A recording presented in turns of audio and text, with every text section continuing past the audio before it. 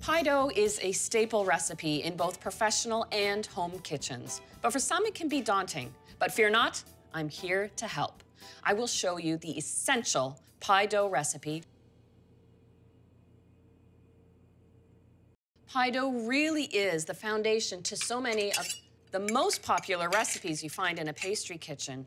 I start by using cake and pastry flour, two and a quarter cups. Cake and pastry flour keeps the pie crust tender, but also makes it a little denser than your typical pie dough, so it holds in the wet filling and crisps up beautifully. I've got two tablespoons of sugar and three quarters of a teaspoon of salt. You should always sift your cake and pastry flour. It is ground a little more finely than all purpose.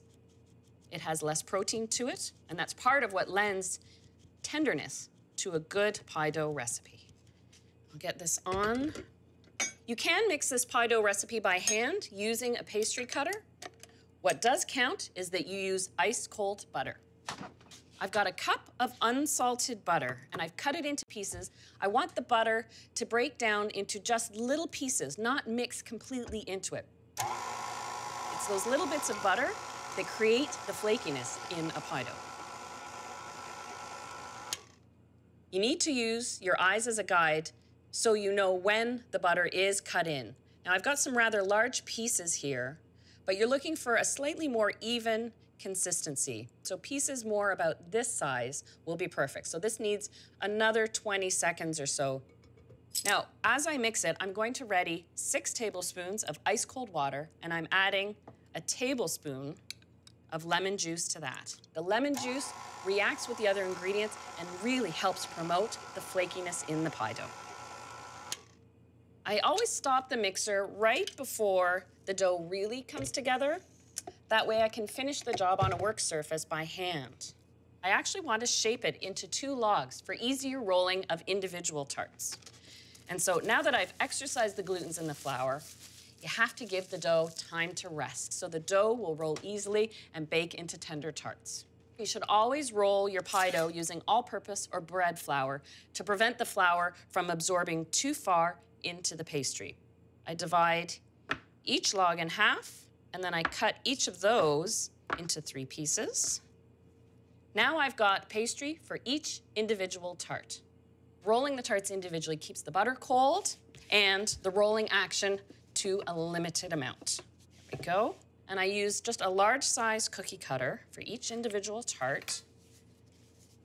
You don't grease the tin, but I give it a little sprinkle of flour, and then you let the pie dough just fall into the shell. Pinch up the pie dough, press it into the shell so it goes right to the bottom. Gotta make room for that gooey filling inside. So while I'm preparing the butter tart filling, I'll pop these in the fridge just to set the butter and let the proteins relax. A butter tart earns its name. It's not just about the butter that's in the pastry dough, it's about the butter that's in the filling. I start with a half a cup of butter, a full cup of packed dark brown sugar. I'm gonna heat this on medium heat, stirring it until it's melted and bubbling. Two eggs. In addition to that one cup of sugar, I add half a cup of pure maple syrup. Liquid gold. That too ensures a butter tart that is gooey and runny. A teaspoon of vanilla extract, and a quarter teaspoon of salt, a tablespoon of lemon juice. I'll just whisk this to combine. Mmm, just the smell of the melting brown sugar and butter makes you think butter tarts. Now that it's bubbling, I can whisk this in and I whisk it just gently and by hand.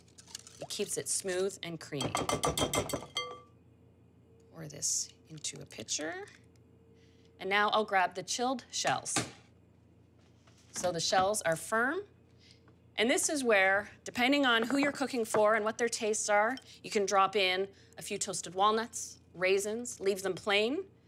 But I'm putting in buttery, lightly toasted pecan pieces and the toasting really makes the pecans sweeter.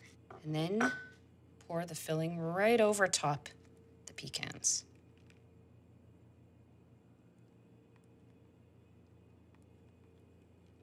And these are ready for the oven. I've preheated the oven to 400 degrees, and that's to really set the pie crust first. Then I turn down the oven to 375 after the 10 minutes and let them go another 10 to 15 minutes. Oh, smell those butter tarts. Still bubbling. As it sets, you want to cool them before you take them out of the pan. I know it's hard, you have to wait.